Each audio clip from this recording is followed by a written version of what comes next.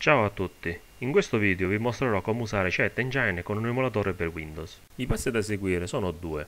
Configurare Chat Engine, usare Chat Engine per trovare i chat del gioco di nostro interesse.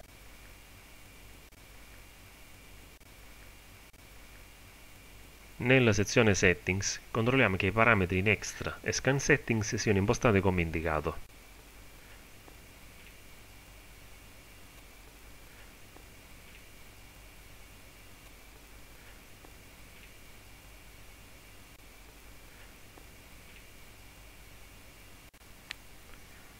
Questo servirà per attivare la possibilità di effettuare la scansione sull'intera area di memoria.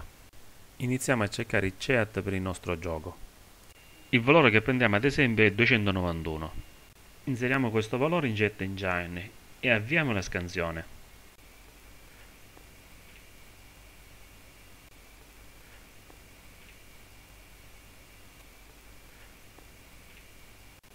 Adesso carichiamo un altro salvataggio in cui il valore è diverso da 291.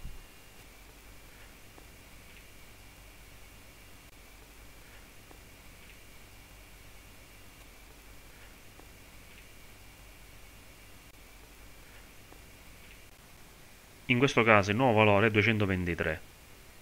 Inseriamolo in Jet Engine e avviamo di nuovo la scansione.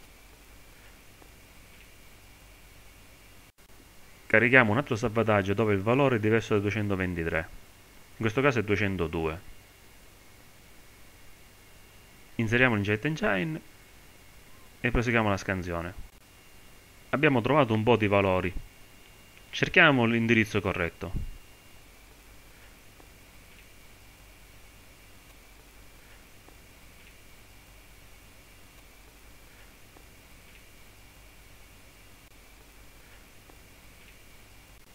Questo non è in quanto non ha modificato nulla.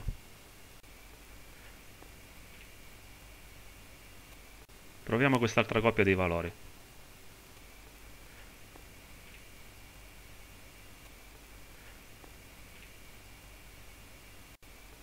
Nemmeno in questo caso abbiamo avuto alcun risultato.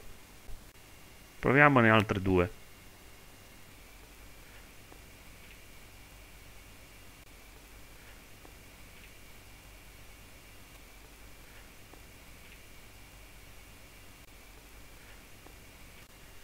Qui possiamo vedere già il valore modificato. In alcuni casi quello che abbiamo già fatto risulta essere sufficiente, ma non in questo caso, in quanto gli HP tornerebbero normali non appena saliremmo di livello. Per questo motivo cerchiamo in un'area di memoria vicina a quella trovata gli indirizzi dove è possibile trovare le statistiche del nostro personaggio. Spesso infatti in questi giochi gli indirizzi si trovano vicini tra loro, questo è uno dei casi fortunati. I valori che sto indicando sono tutti quelli della forza dei nostri personaggi. Modifichiamoli e vediamo come sono cambiati.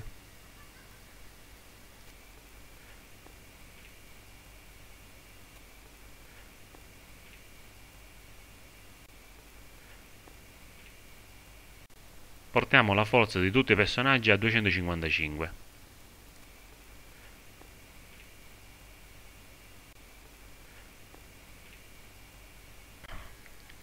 Come potete vedere la forza di Kane è 259 e non 255, a causa di potenziamenti dovuti agli equipaggiamenti. Se avessimo tolto tutti gli equipaggiamenti è molto probabile che avremmo potuto utilizzare direttamente il valore della forza. Tuttavia ho voluto procedere in questo modo a scopo dimostrativo per mostrare le potenzialità di Chat Engine, che non è solo ricerca dell'indirizzo. Ho appena salvato il gioco per mostrarvi che ai caricamenti non saranno perdute le modifiche. Come vedete sono rimasti i valori modificati in precedenza.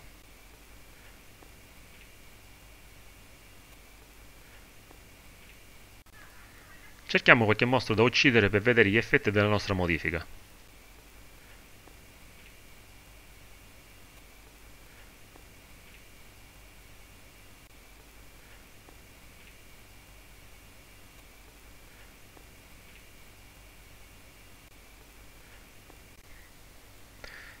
Bello, vero?